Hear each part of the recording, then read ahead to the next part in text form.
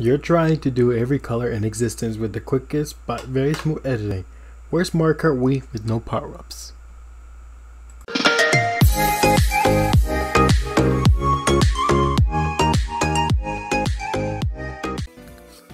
Hello everyone, this is Mark from the Revolution Cafe. How's everyone doing today?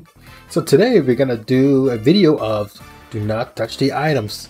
Well, pretty much item boxes, so if I touch the item box, the video ends. But if there's items on the road and I get slipped and get hit by anything, that will not count.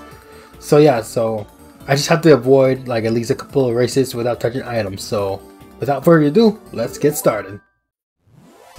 Alright guys, Rainbow Road. Alright. Oh man, I'm excited for this Rainbow Road.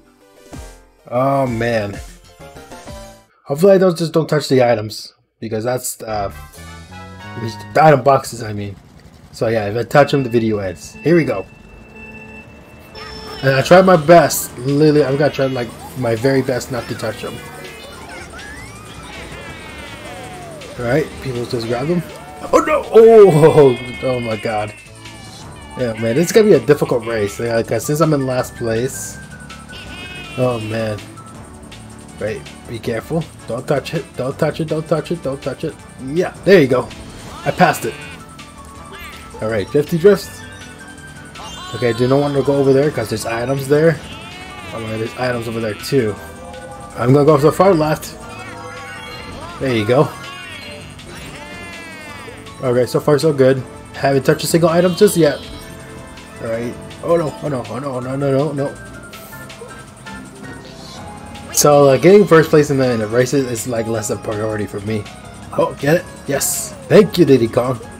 Oh, okay. Did I say about big item box counts? Uh, yes, it does. I'm gonna say that I won't count because it's still an item box. Yay. At least I'm not in last, so... Alright, let's see if I can survive a whole lap without touching the item box. There's some right there, so I'm gonna...